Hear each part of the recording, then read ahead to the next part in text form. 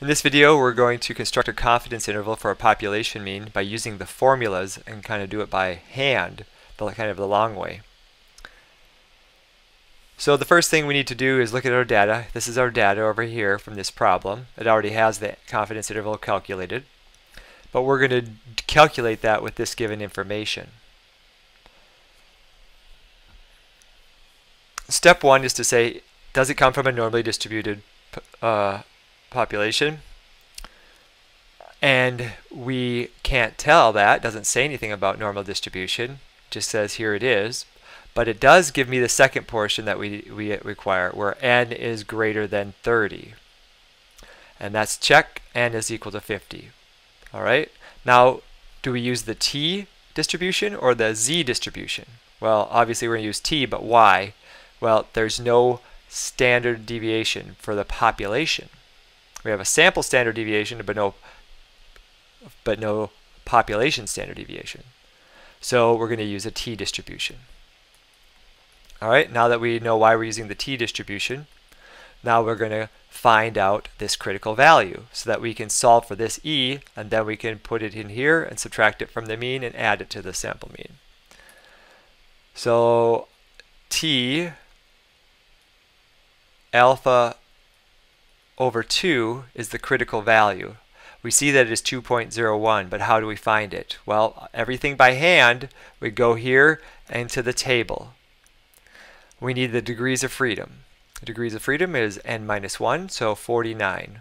I scroll down. I don't see a 49, but I see a 45 and a 50.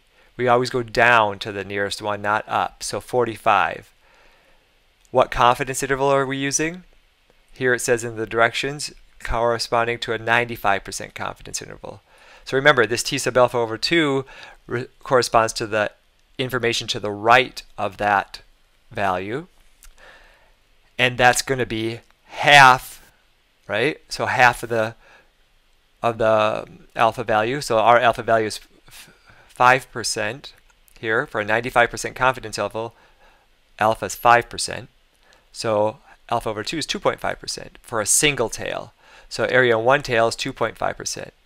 If you want both tails, that will be the 5%. So we have the area in two tables. So this is telling you this is the column we should be using.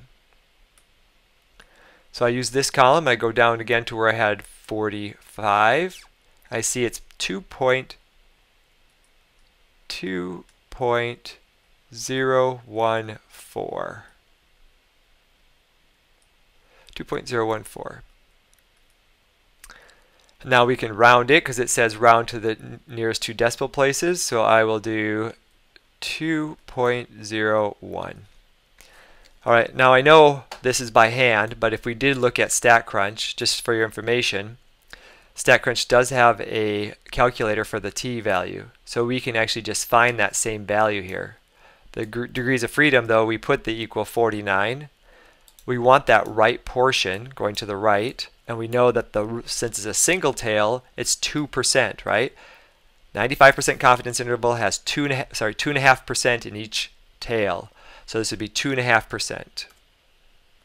Two percent, two and a half percent.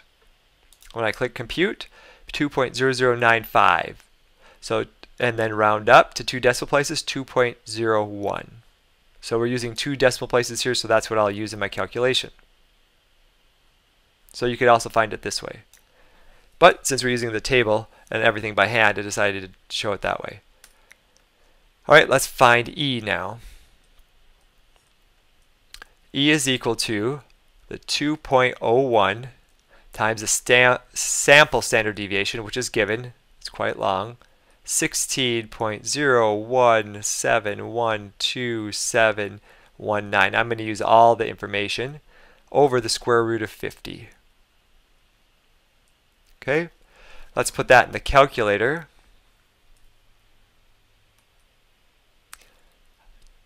Two point zero one times, I'll put a parenthesis box so I make sure I get this in correctly, 16.01 seven one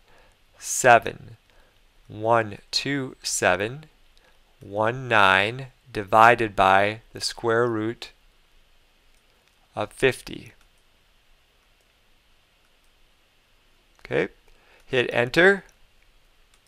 We'll round it to 4.55298. That should be enough, right? Because I think they just go out two decimal places or three decimal places there, so I'll go out a few more. So that's my E. Alright, so now once we have my E, which wasn't too bad to figure out, just uh, getting the critical value for the T is the, the kind of the toughest thing. Now we just take the sample mean, which was given to be 17.598, and we add it to the, or excuse me, on this side we subtract it, subtract the error, which is 4.55298. That would be the lower bound for mu. The upper bound where we add 17.598 plus 4.55298. All right, let's do it in the calculator quick and see what we get. 17.598 minus 4.55298 equals 13. They did to two decimal places, or three decimal places, so that's what I'll do. 13.04502 and 7, 17.598 plus 4. 55298. 22.15 that's it 151 but they only did it to two decimal places there okay so we see that my number here 13.04 is slightly the 4.5 is slightly off from what they have, 13.046, but my other number, 22.15, was right on for what they had, 22.15. Now why is this off a little bit? Not quite sure. Um, has to do with some type of rounding error someplace in theirs or, or mine.